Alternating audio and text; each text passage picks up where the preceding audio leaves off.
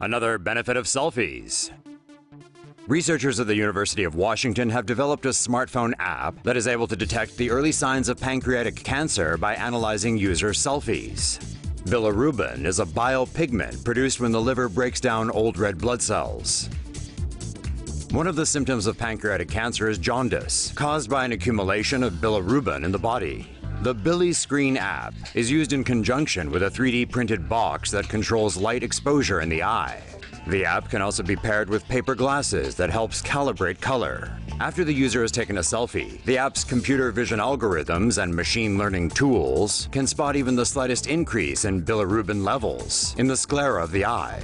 The app is designed to help people get early treatment if needed. However, the results are not as definitive as a blood test. Keep watching for more on cancer research. Teenager invents breast cancer detection bra.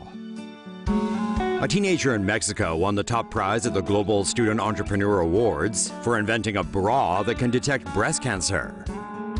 The breast cancer detection bra is equipped with 200 tactile biosensors. Users must wear the bra for at least 60 minutes a week to obtain accurate measurements.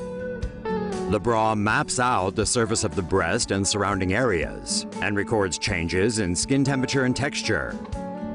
An increase in shape, size, or temperature of a breast could suggest more blood flow, which might signal the existence of some types of breast cancer. The bra is currently only at the prototype stage, and it may take at least two years for the device to pass the certification process. Israeli scientists show how melanoma spreads in the body. Scientists at Tel Aviv University have made a landmark discovery on melanoma, a brutally aggressive form of skin cancer that kills a person every 52 minutes. Melanoma forms in the epidermis of the skin. At this stage, the cancer cells are not able to spread, as they have no access to blood vessels.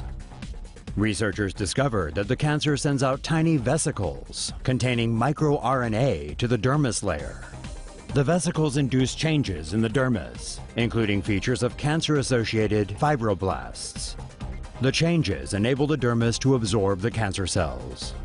The real threat of melanoma begins when the cancer cells have access to blood vessels and are spread to vital organs such as the brain, lungs, liver, and bones. The team also found two chemicals that could stop the spread of melanoma in its initial stages. One is capable of stopping the vesicles from being sent to the dermis, and the other capable of preventing the reaction to the vesicles in the dermis itself. Cuba developing a vaccine for lung cancer. America wants in. What's the first thing you think of when you see someone puffing on a stogie? Yup, Cubans, the finest cigars the world has to offer.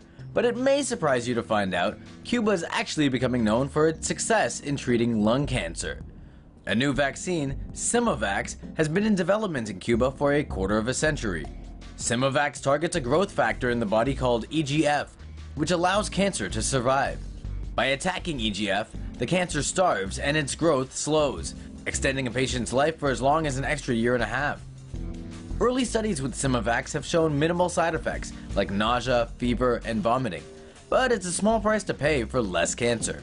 The drug's been used to treat 5,000 cases of lung cancer worldwide, but with FDA approval pending, testing could still be a ways away in America.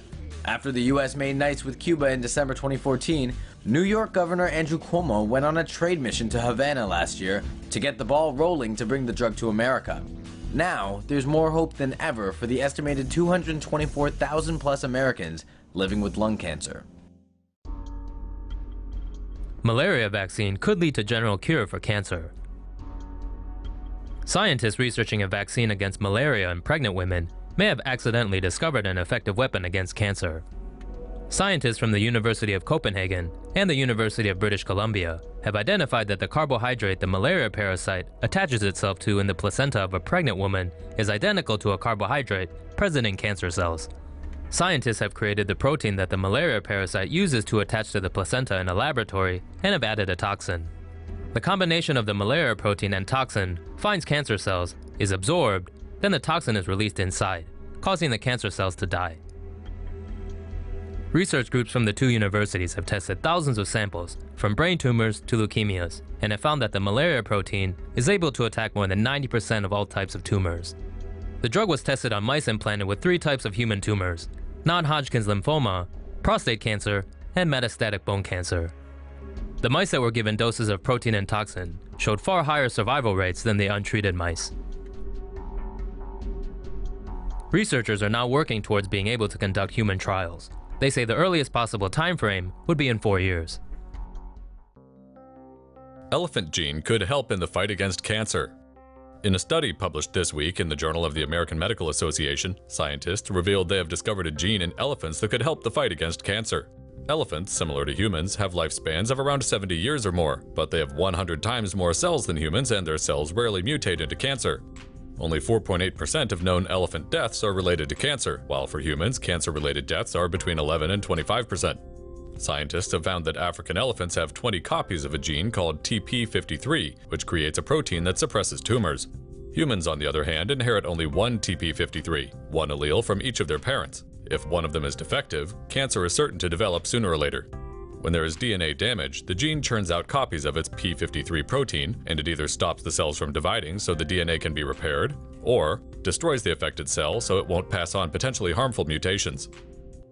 Tumor biology specialist Dr. Trevor Graham told the LA Times that reinforcing the protection offered by TP53 in humans would be enough to prevent human cells from becoming cancerous.